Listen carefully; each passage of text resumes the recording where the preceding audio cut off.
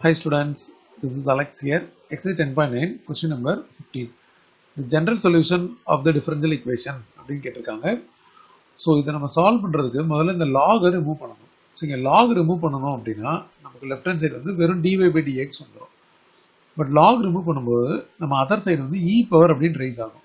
So நமக்கு டோட்டலாக x plus y இருக்குல்ல இந்த மொத்த எக்ஸ் ப்ளஸ் ஒய்யும் இ e பவரில் வந்துடும் இப்போ இதை நம்ம ஸ்ப்ளிட் பண்ணணும். So dy by dx equal to e power x into e power y அப்படின்னு ஸ்ப்ளிட் ஆகிடும் இப்போ நம்ம வேரியபிள் செப்பரபிள் பண்ணும்போது இந்த dy by e power y அப்படின்னு வந்துடும் இங்கே இருக்கிற e power x as it is இருக்கும். இன்டு டிஎக்ஸ் அப்படின்னு வரும்.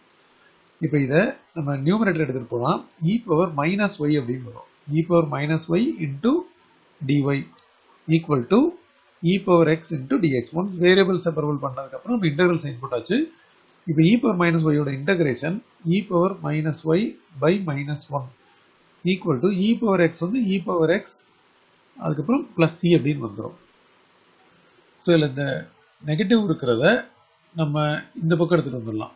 அப்போ ஆல்ரெடி நமக்கு e இ பவர் எக்ஸ் இருக்குது இது plus e power minus y அப்படின்னு வந்துடும் ஸோ சி வந்து இந்த இடத்துல இருக்கு இல்லையா? நம்ம இங்கே சி ஒன் அப்படின்னு போட்டுட்டு ஈக்குவல் டு ஜீரோ இது இந்த பக்கம் வந்துருச்சுன்னா e power x plus e power minus y is equal to minus c one வரும்.